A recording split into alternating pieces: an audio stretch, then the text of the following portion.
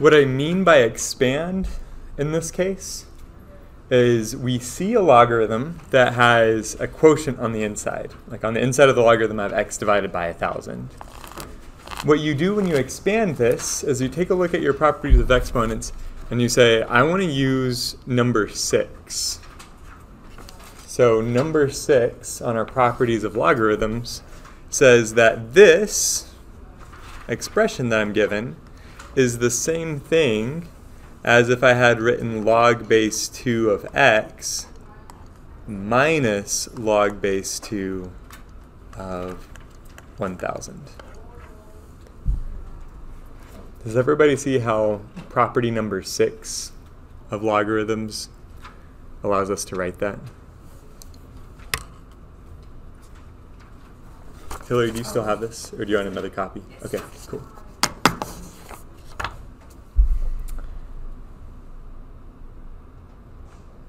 And also, do you see why we use the word expand when we describe what we want to do here? Is like we're, we're taking one logarithm and then we're expanding it out into two different logarithms.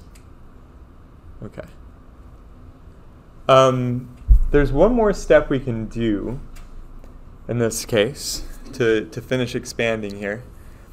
I could recognize maybe that um, 1,000 is the same thing as 10 raised to the power 3. Okay, so 10 to the third power, 10 times 10 times 10 gives me 1,000.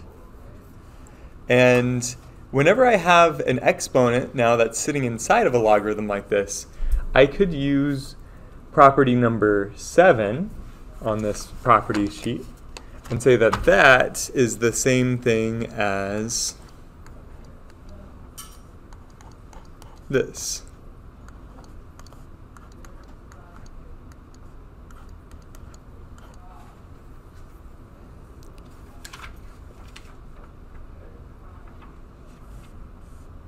Do we see how we use property number 7 on the page to get from that uh, second line to the third line? And now, I could say, well,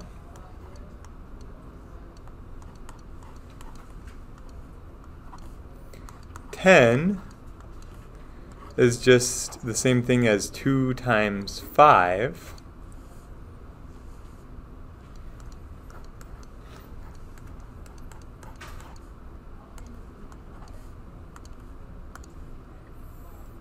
And if I have 2 times 5 inside of a logarithm, I could use property number 5 from my properties of logarithms page. So if we look at number 5, instead of writing log of 2 times 5, what I could write is log base 2 of 2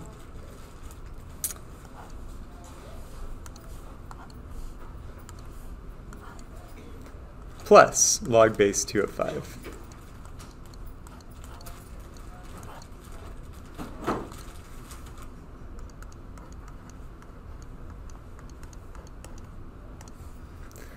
And then what is log base 2 of 2?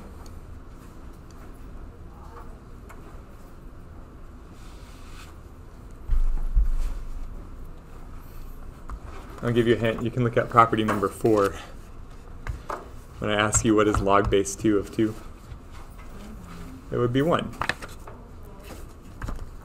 And so this would be minus 3 times 1 minus 3 times log base 2 of 5.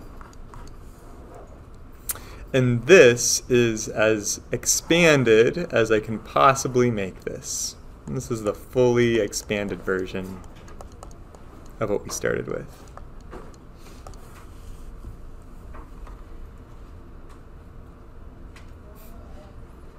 It doesn't really fit on one screen because there's a lot of steps here. But we started with log base 2 of x divided by 1,000.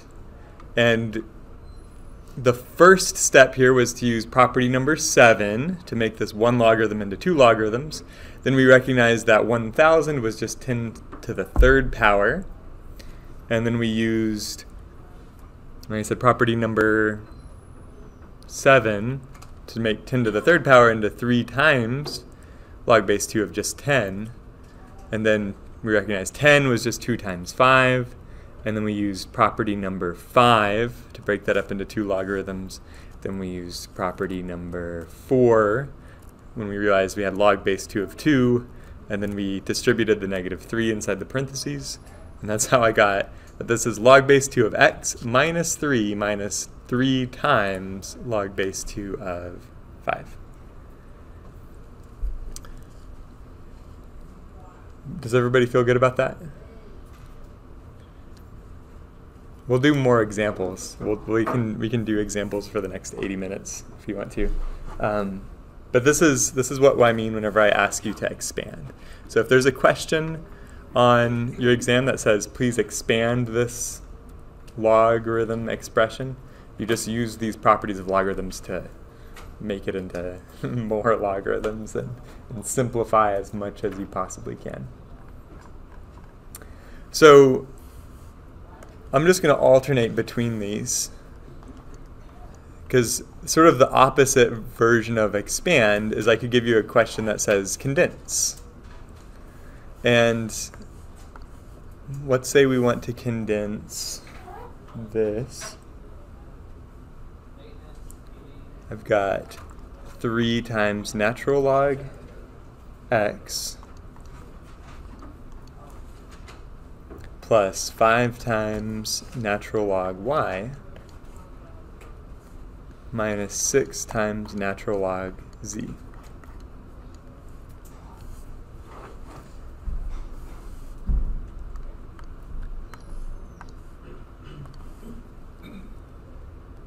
So now when I say condense, I want to go in the reverse direction. Like this would be like the fully expanded form of this expression. So now we're going to try to package everything up nice and neat into just one logarithm.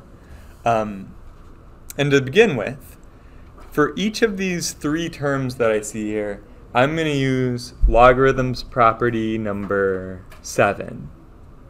Right? And so where I have 3 times natural log of x, that could become natural log of what?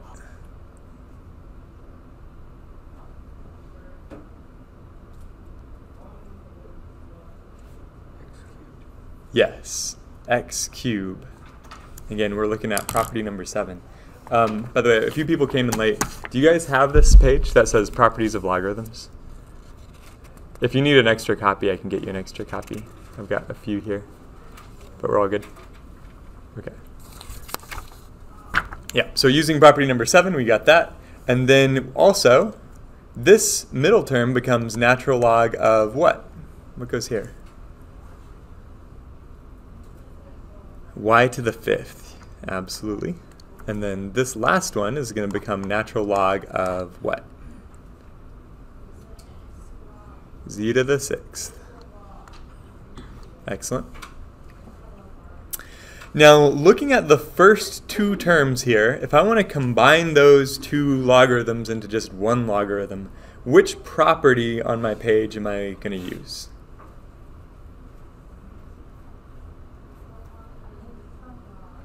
Number five, yeah. Number five, if I'm adding two logarithms, then I can use property number five and say, well, adding these two logarithms is the same thing as just writing one logarithm that's going to be x cubed times y to the fifth, like that. Okay? And now that I'm left with these two terms, what property can I use from your page that's going to uh, combine those neatly into one logarithm? Hmm? Yes, number six. So if I see that I'm subtracting two logarithms, I can, again, combine those into just one logarithm where I divide instead of subtract on the inside. And that is the fully condensed version.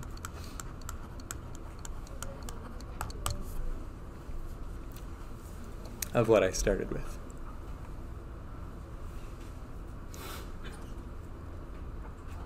So do, do you feel good about that? Do you see how that would be condensing and how condensing is sort of the reverse of expanding like we did in the first example. Okay. So I'll switch back and we'll do another expanding example now.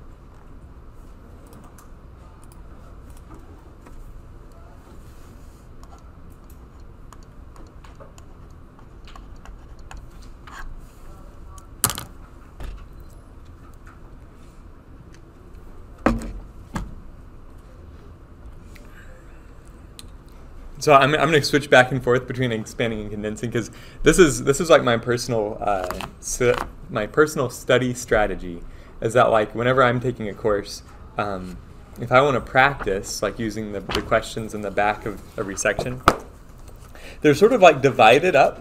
Like there's a whole bunch of questions. There's 40 questions about expanding logarithms, and then there's another 40 questions about condensing logarithms, and then there's some questions about graphing logarithms, and then some application questions, and so on. Everybody just has a limited amount of time in their week, right? Like no nobody has just enough time to work every single question in the whole book. So if I know I only have an hour to study, and I just tried to study by working question one, and then question two, and then question three, and then just going down the list, then I'm gonna have spent an hour and then only got into question maybe maybe question 30 let's say if i worked really fast.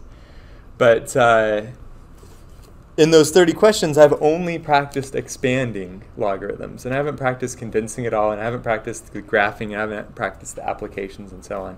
So like my personal strategy whenever i go to study for a test is i'll do one question from the first section and then i'll do question number 41, because that's from the next section. Then I'll do question number 81, because that's from the next section. And I'll, I'll try to practice one of each type.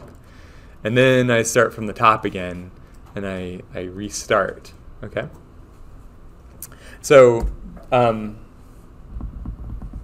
that's why I'm going to go back and forth between expanding and condensing, is I think it's just nice to switch between the two. And that way we don't accidentally spend all of our time expanding and not get enough condensing practice. So anyways, um, here's another expand that we can do. What if I have log base 4 of square root x divided by 64?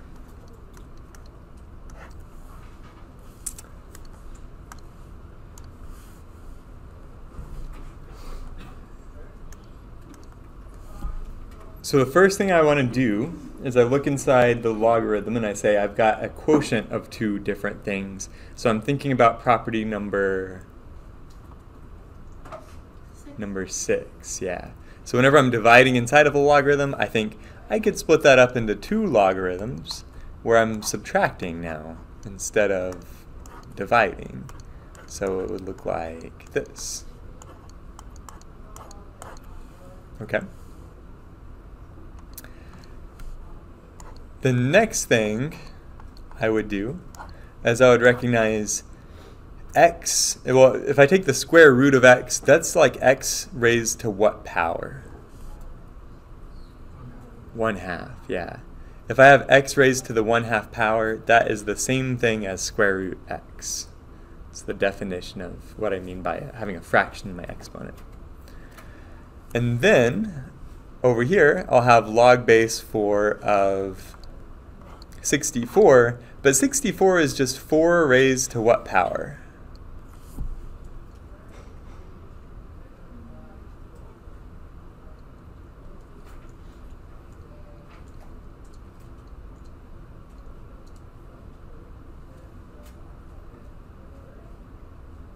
Four squared would be 16. What would be four cubed?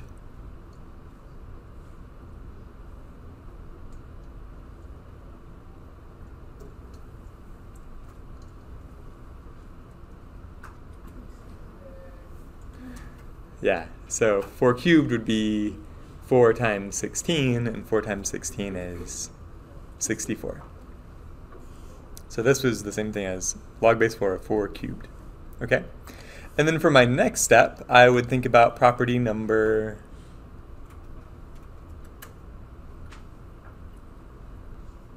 7. Yeah, property number 7. And that says if I have an exponent happening inside my logarithm, I can just pull that out and multiply. So I have 1 half times log base 4 of x. Then minus 3 times log base 4 of 4. And what is log base 4 of 4? Yep, that is just 1. And so this is the fully expanded form of what I started with.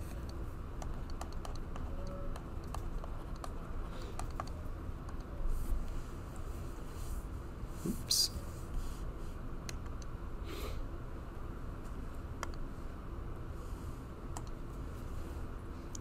Okay. Any questions about this sequence of uh, properties here?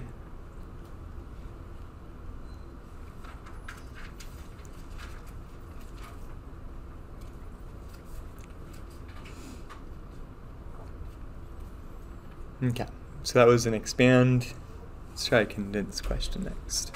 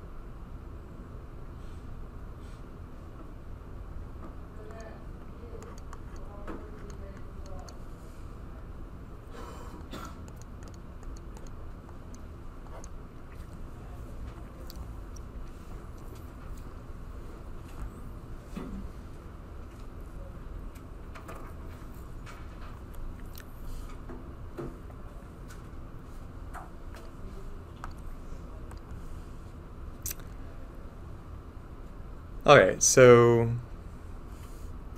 if I were trying to combine these first two logarithms, so I'm trying to convince them, um, we're thinking about property number Five. Yeah, number five. So when I'm adding two logarithms, I'm just going to write one logarithm where I'm multiplying on the inside like this. Okay. Um, I'll just take this one step at a time because I don't want to make any mistakes with all the adding and subtracting that's going on.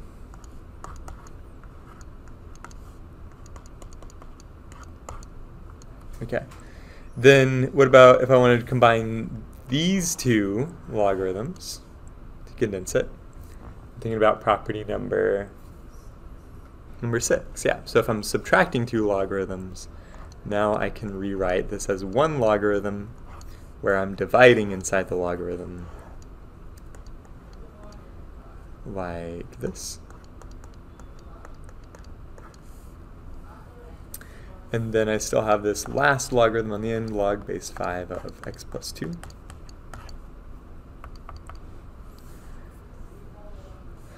Now, if I'm subtracting these two logarithms, I can do something very similar.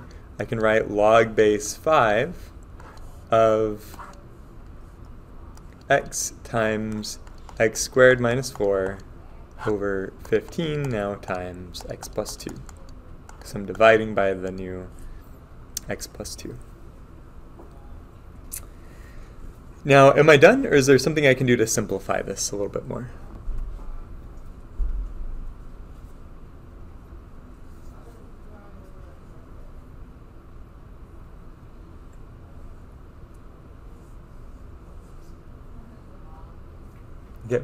What should I do to make that simpler?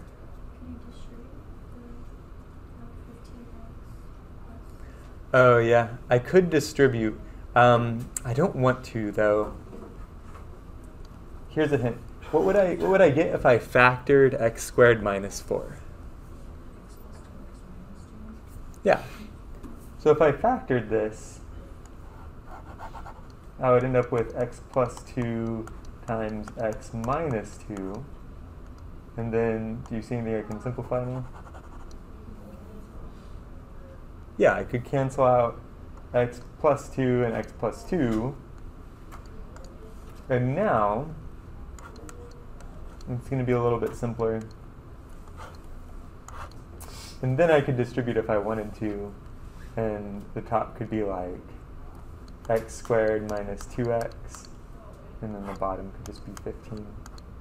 And that would be the fully condensed version.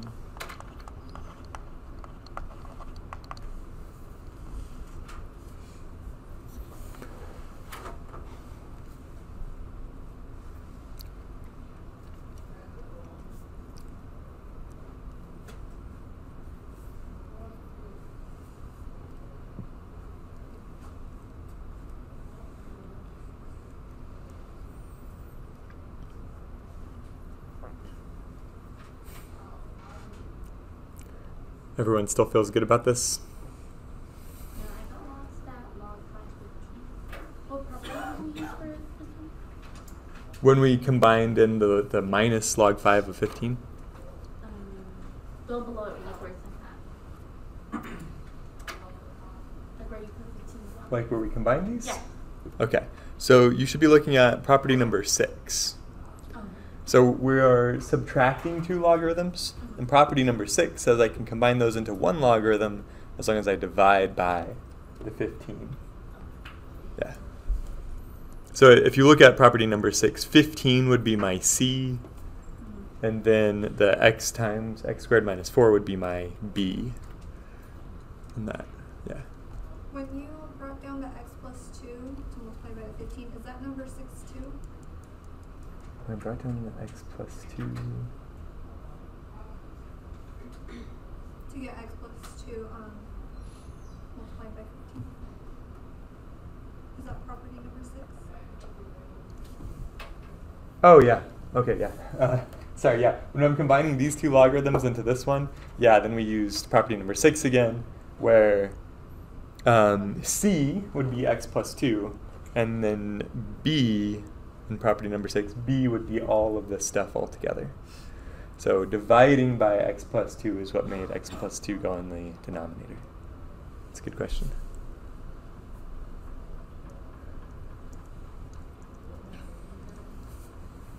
Okay. Let me give you an expand problem.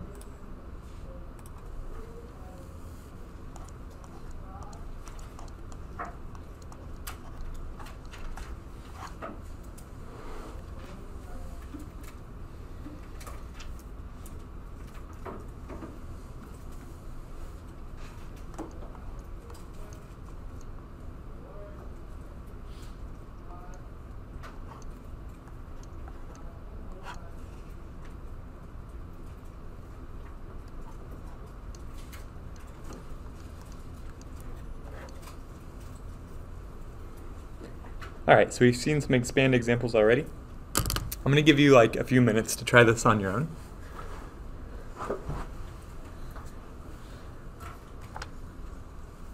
And then I'll show you the answer so you can check your answer here in a few minutes.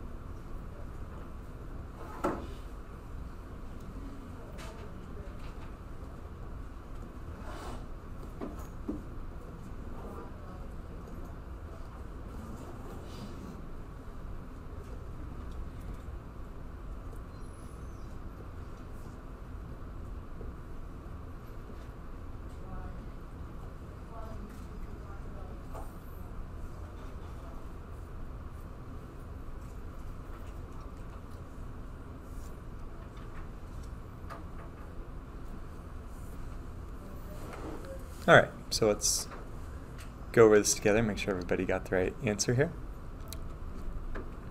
And Sierra, what would be the first thing that you do here to expand this?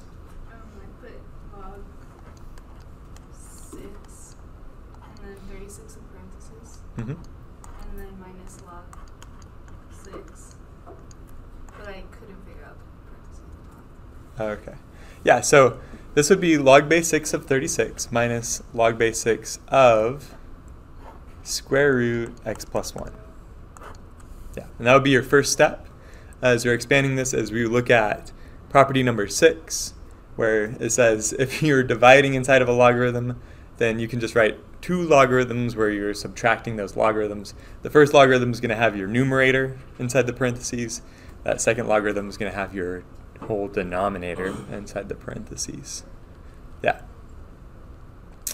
So at this point, um, what I'm thinking is that 36 is just the same thing as 6 raised to what power? Or two. 2, yeah. 6 times 6 is 36, so this is 6 squared. Okay? And then we said this a moment ago, a little bit earlier in class, but if I'm taking the square root of something, that's the same as what exponent? 1 half, yeah. So instead of writing square root of x plus 1, I can write x plus 1 to the power 1 half.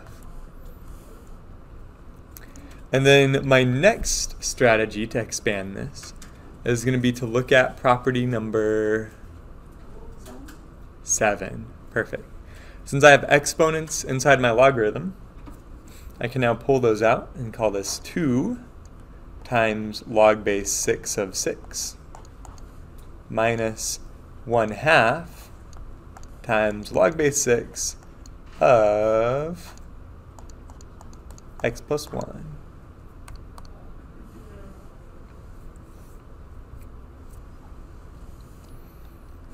Now, what is log base 6 of 6? One. 1. Excellent. So, property number 4 tells me that since the base and the input to my logarithm match, that's just 1, or 2 times 1, minus 1 half times log base 6 of x plus 1.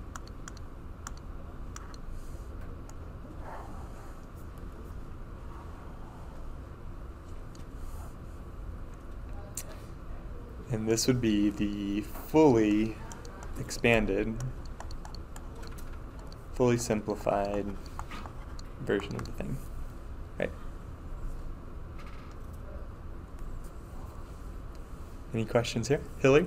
Um, on a number one, does that only work whenever it's actually x?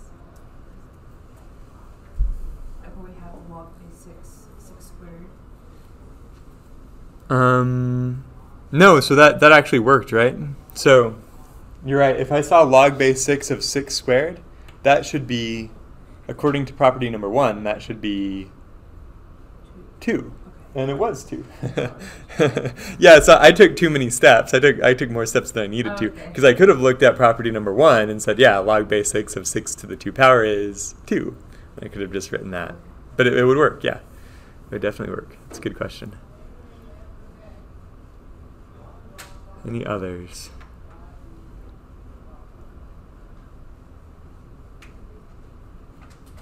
Okay.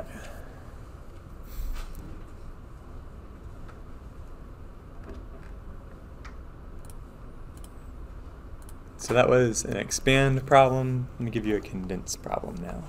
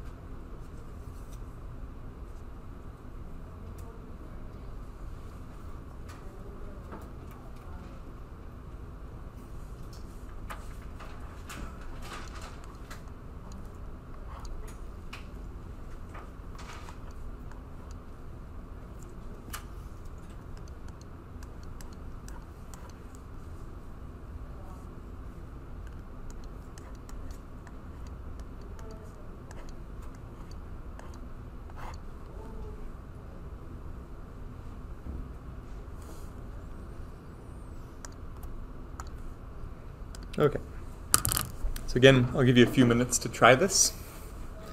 And after a few minutes, we'll go over the answers together.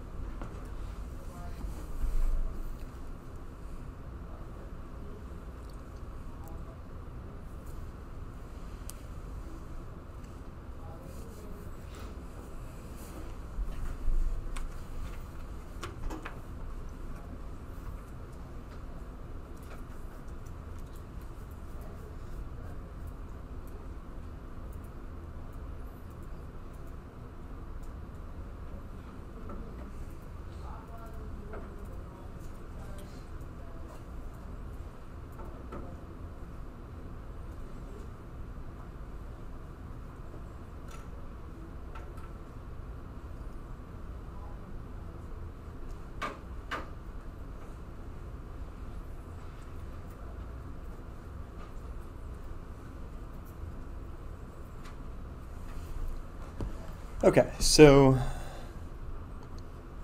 let's see.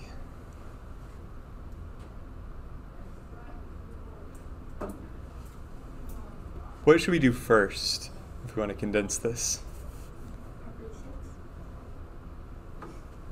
Yeah, exactly. So I see that I'm subtracting two logarithms, and so I should combine those two logs inside the parentheses as one logarithm, base 4, and what goes inside here? Perfect. x divided by y. And now, I've got one third times log base 4 of x divided by y. How do I continue to condense this? Yeah, number 7. So I can take that one third that's currently sitting out in front of the logarithm and I can rewrite this as x divided by y to the power what? One third. And um, how do we calculate the one third power? We say that one, you know, the raising something to the one third power is the same as taking the, Cube. the cube root. Yeah, and so I could write log base four of the cube root of x over y, and that is perfect.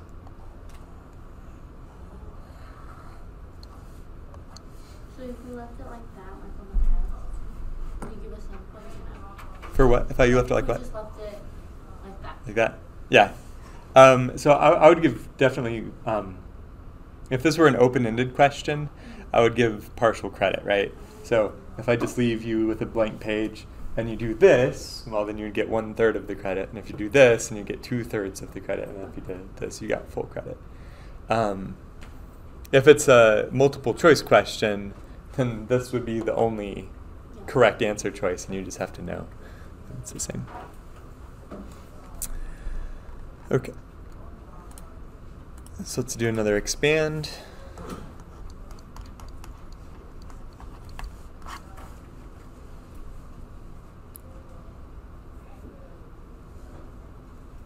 Let's expand log base 5 of root x over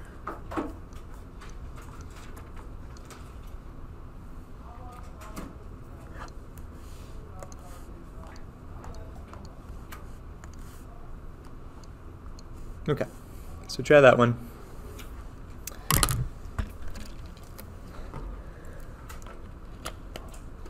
We'll see what we get.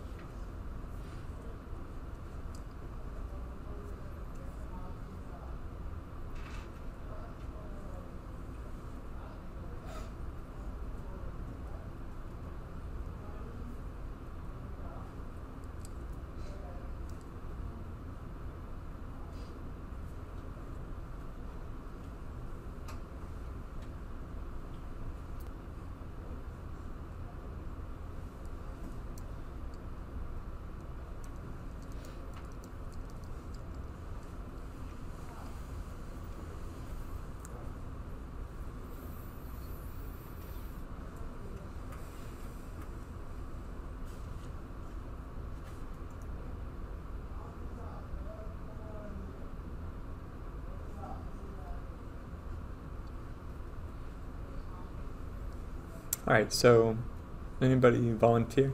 What is the very first step I do if I want to expand?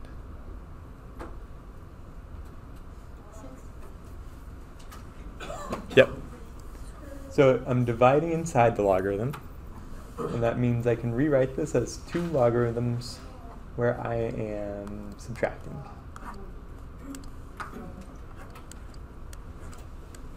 So your numerator goes in the first one, and then you subtract a logarithm, and your denominator goes in the second one. Like that. And then, what is square root of x as an exponent? Next to the one half. Yep, it would be x to the 1 half. And then over here, how can I expand out this logarithm? Three times log base five. Um, so I, there's a, there's that exponent there, that y to the third power, but um, 25 isn't raised to the third power, and so you're not going to pull out the exponent yet. We're going to save that for like the next step. Yeah. So what should I do before that? Change twenty-five to five squared. Yeah, I can I can do that, and that doesn't that doesn't hurt anything. So um, 25 is the same thing as 5 squared. And over here, for this first logarithm, now I can actually pull out that 1 half, right? So I can write 1 half times log base 5 of x. Okay. For the second logarithm, now what should I do to expand?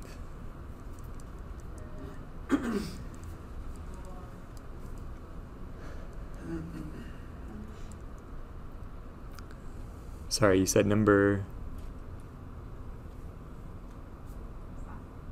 number 5? Yeah, you'd be right. So, inside that logarithm I have 5 squared times y cubed. And so I'm looking at number 5 because number 5 says whenever I'm multiplying inside of a logarithm, I can just separate that into two logarithms where I'm adding the logarithms. So I have to be really careful here. This would be an easy, easy, easy place to make a mistake. Um, since I'm subtracting this, whenever I expand this logarithm into two logarithms, I'm going to want to use parentheses and then write log base 5 of 5 squared plus log base 5 of y cubed. And the reason I'm, I'm being careful about the parentheses is because, you know, 5 squared times y cubed, the times means I'm going to add the two logarithms, right? So that's why I put a plus sign here. But I have to use the parentheses so that I remember to distribute this minus sign to both of those logarithms, right? So eventually this last logarithm is going to be negative because I have to distribute that minus sign. And if I didn't use parentheses, then I would have lost track of it and I would have, I would have uh, gotten the problem wrong because I had the wrong plus or minus sign. So got to be careful with that for sure. Then I can write 1 half times log base 5 of x minus, um, what is log base 5 of 5 squared? 2. Yeah, we could use property number 1 here, right?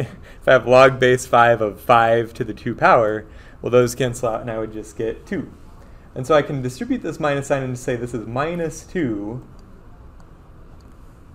and then I'll distribute this minus sign over here, and I can say minus log base 5 of y cubed, but how can I expand this out a little bit?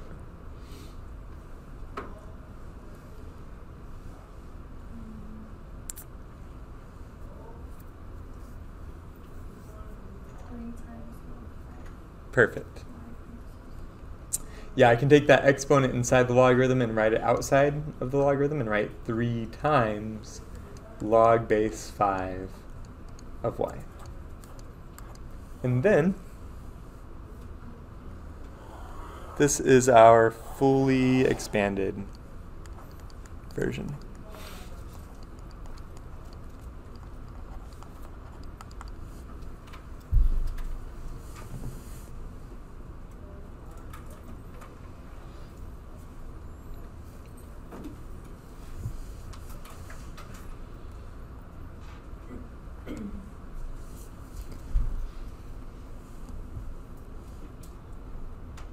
Does that make sense to everybody what we did? Okay. So that was an expand. Let's do another condense.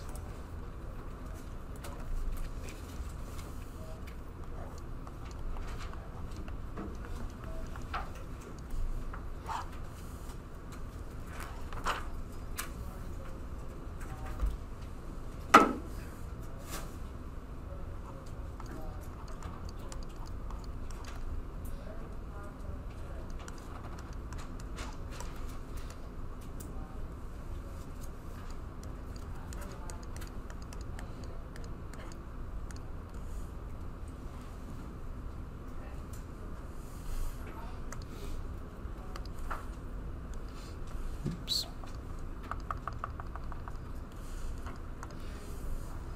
Okay, there we go.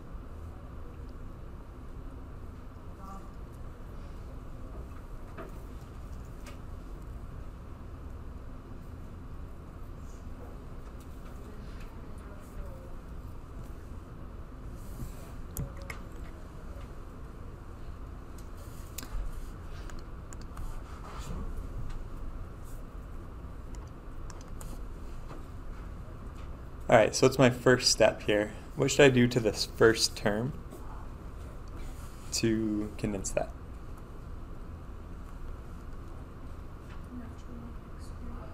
Perfect.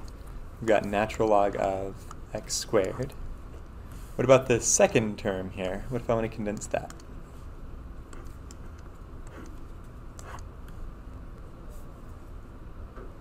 It could be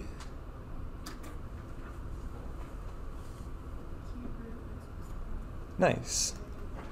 Yeah, that one third out front would make a one third exponent inside the logarithm, and the one third exponent is the cube root. So this would be natural log of cube root of x plus 5. And now, if I want to condense these two logarithms into just one logarithm, I could write natural log of what?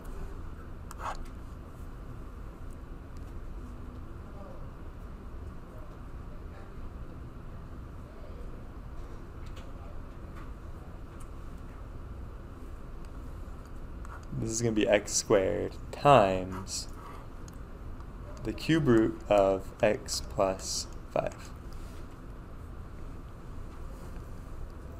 And this would give you like full credit on an exam if you wrote that on an open-ended question. Just to be tricky, one thing that I might do is like make it like a multiple choice question and then write one of the answer choices. Well, I'll, I'll just make the only correct answer choice look like this. Um,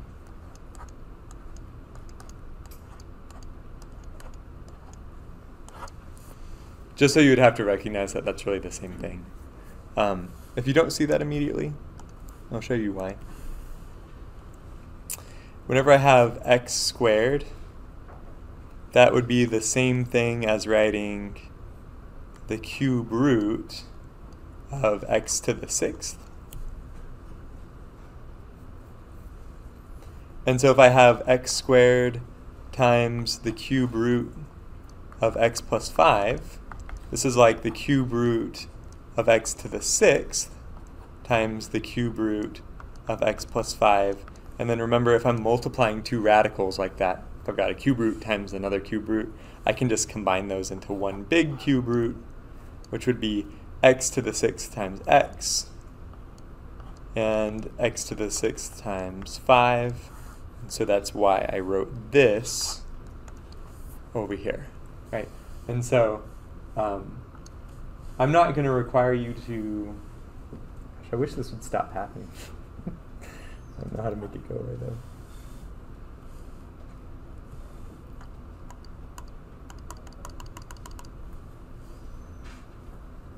You would think that was the button to make it hide, but it's see more news, so.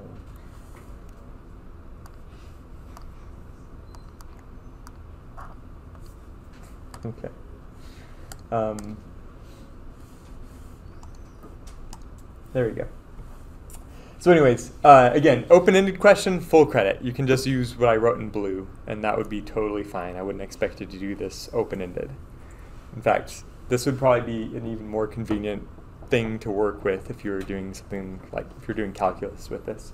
But uh, just to, to make sure that you're aware of how to deal with um, exponents and radicals and that sort of thing, then I might try to make this a multiple choice question where that would be like a multiple choice response.